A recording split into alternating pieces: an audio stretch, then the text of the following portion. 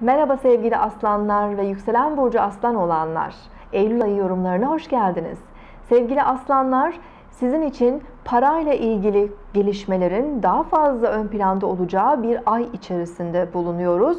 Eylül ayı gelirleriniz, giderleriniz ve bütçenizle ilgili yeni gelişmeler gündeme getirebilir. Venüs 23 Eylül'e kadar Başak Burcu'nda ilerliyor olacak. 5 Eylül'de Venüs Başak Burcu'na geçecek. Bu da özellikle e, parayla ilgili şanslarınızı arttırabilir bu dönemde. E, enerjiler bu alanda daha fazla yoğunlaşıyor. Venüs e, fırsatlar karşınıza çıkarabilir. Bunun yanı sıra bazı alışverişler de gündeme gelebilir. Venüs'ün etkisiyle beraber. 2 Eylül'de Merkür terazi burcuna geçiş yapacak. 28 Eylül'e kadar Merkür terazi burcunda olacak. E, iletişim yönünden kuvvetli bir aydayız. Yakın çevreniz, kardeşler, komşularla daha fazla diyalog içerisinde bulunabilirsiniz. İş toplantıları, görüşmeler, anlaşmalar, sözleşmeler gündemde olabilir. İş veya özel amaçlı seyahatlere çıkabilirsiniz. E, Merkür'ün pozisyonu sizin için e, oldukça e, iyi görünüyor ay sonuna kadar. Evet Mars yay burcuna geçecek 14 Eylül'de ve Mars'ın yay burcuna geçmesi e, sizi destekleyecek bir süredir. Akrep burcunda e, ilerliyor Mars ve ay ortasına kadar yine Akrep burcunda olacak. Zaman zaman aile içerisinde bazı konularda anlaşmazlıklar, sorunlar çıkarabilir Mars burada.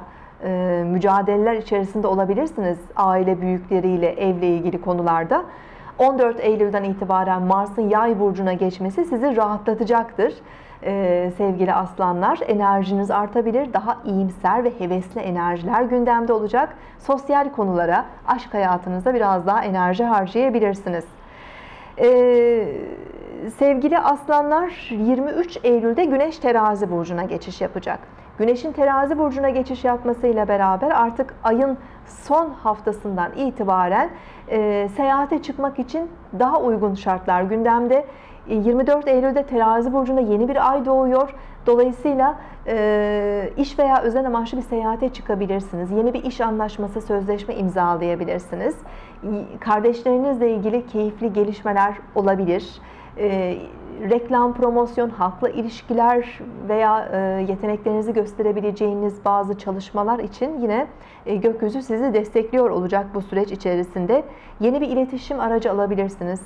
E, Jüpiter-Uranüs arasındaki üçgen açı oldukça keyifli yeni gelişmeleri de gündeme getirebilir. Bunlar sürpriz gelişmeler de olabilir sevgili aslanlar. Ayın özellikle 23'ü ee, ve 27'si arası 23'ünden sonraki günleri daha keyifli görünüyor. Ayın başında 8'i ve 13'ü arası biraz daha temkinli olmamız gerekiyor. 9 Eylül'de Balık burcunda bir dolunay meydana gelecek. Dolunay ve yakınlarında biraz daha duygusal dengemiz hassas olabilir, daha alıngan ve kırılgan olabiliriz. Bazı e, psikolojik e, problemler veya fiziksel rahatsızlıklar e, gündemde olabilir. E, para ile ilgili konularda çok fazla risk almamamız gerekiyor. 9 Eylül ve yakınlarında.